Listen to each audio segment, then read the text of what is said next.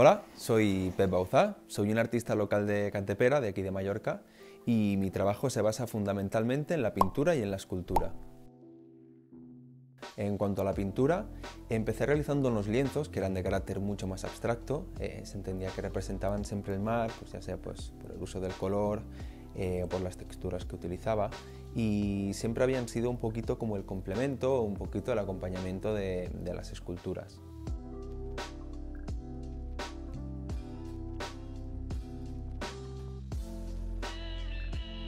Actualmente siento que, mi pintura va cogiendo un poquito más de, relevancia en mi obra porque ya empieza a ser algo totalmente separado de las esculturas.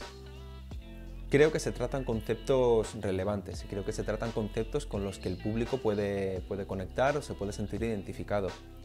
Esta nueva línea pictórica surge un poquito de un autorretrato que realicé hace unos años y que realicé para mí y pues se ha convertido en una forma de, expresar un poquito pues ciertas inquietudes o ciertas preocupaciones y siento que el mensaje es más crítico.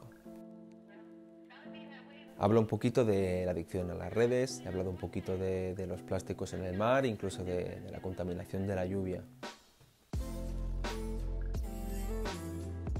Por otra parte, mi trabajo escultórico empezó a gestarse por el 2016 y fue a raíz de, un trabajo que nos mandaron en la, en la universidad.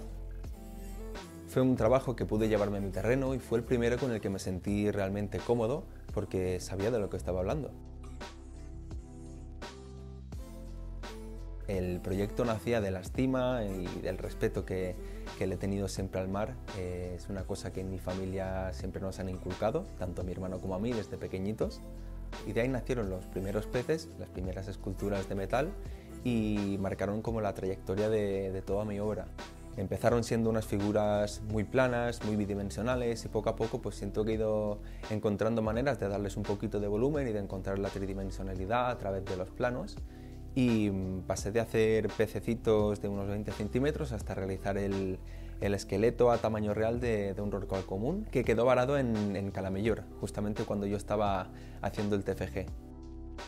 Pues hasta aquí mi vídeo para el Meet the Artist, espero que, que, os haya resultado interesante y que os, haya, que os haya gustado mi obra y nos veremos prontito.